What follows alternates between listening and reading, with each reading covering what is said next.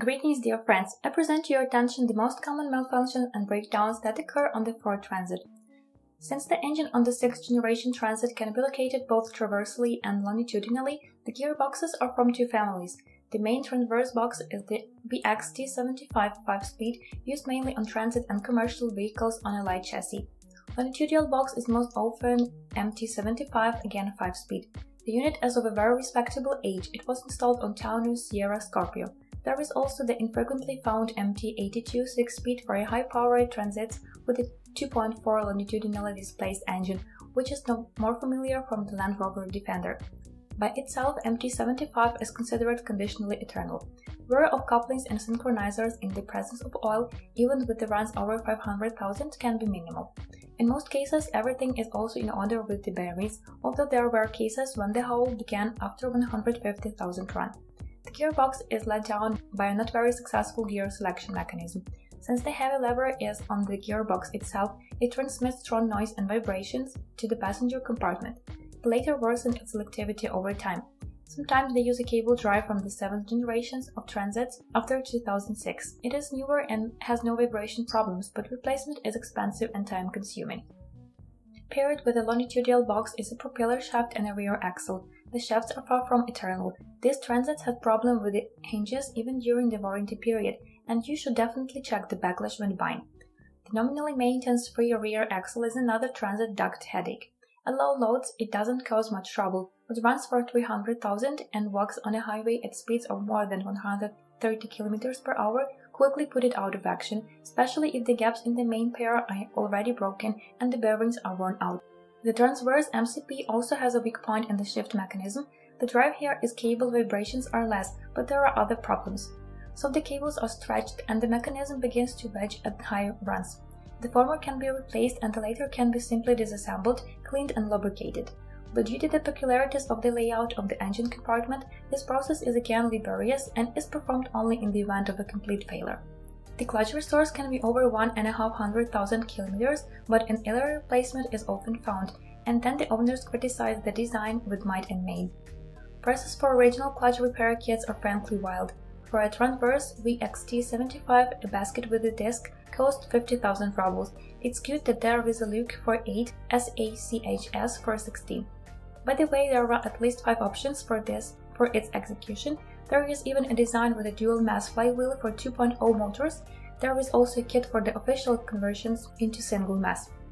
In the catalogs, traditional confusion for Ford, it is difficult to find cross codes, replacements and analogs. Clutch kits are incompatible with each other and release bearings. Services do not like Ford and their problems, be prepared for this. The original clutch for longitudinal motors is more than half the price, a little less than 20,000 rubles.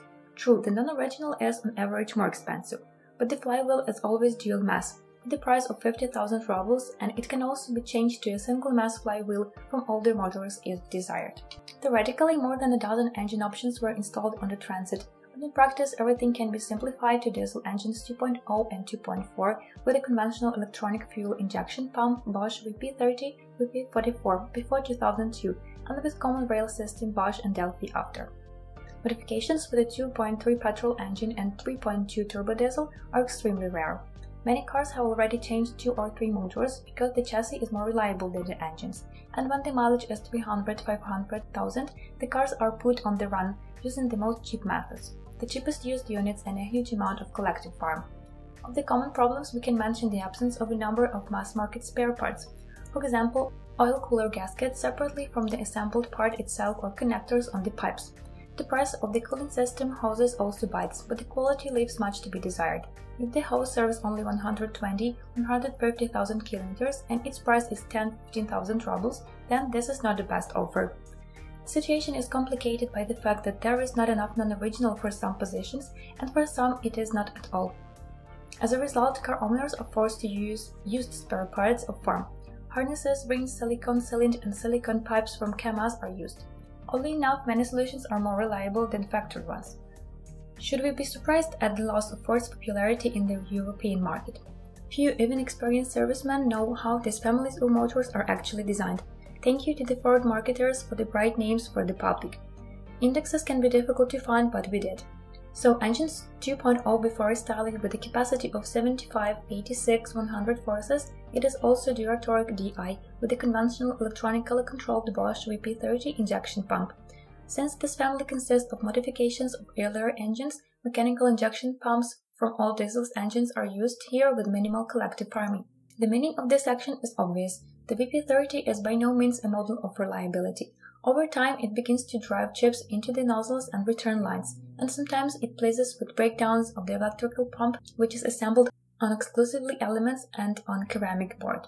The pump is complicated and expensive to repair. The same can be said about the Delphi injectors, which are paired with the Bosch injection pump. Especially often, they try to replace the injection system on engines of 100 horses, where the injectors are more complicated, more expensive, and they need to be written into the electronic control unit. Even leaving out the bad power system, motors are, by commercial standards, not all that reliable. In practice, a double row timing chain is often stretched after 200,000, and by 250-300, the motor can start knocking.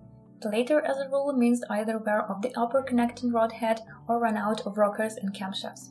Recovery isn't particularly difficult, but it's important to keep rockers and timing wedges out of the way. Many owners note that when using the relatively liquid 5W30 oils, the problem with wear of the pads and the top head is more pronounced than when using 5W40. But no less often the problem is attributed to the habit of driving on the moment, with a turnover of just over a thousand in any situation. Piston repairs rarely come before, either in the case of a very space run or after overheating, for example due to a broken pump or a leak in the heat exchanger gasket. The price of original pistons is such that one involuntarily wonders whether it is Alpina or Porsche that produces them.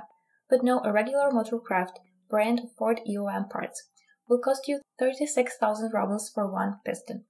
Fortunately, there is a Kolben Schmidt for 6 if you can't afford the original, but only in repair size.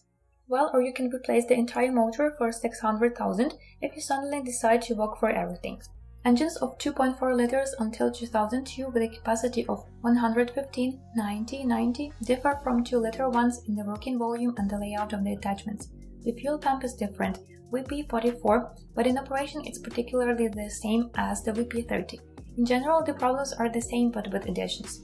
The pump here is very poorly executed and often leaks, and the motor is even more afraid of overheating. The upper head of the connecting rod knocks Hillary and Hodder, and the connecting rod can also break off the lower head if there were overloads.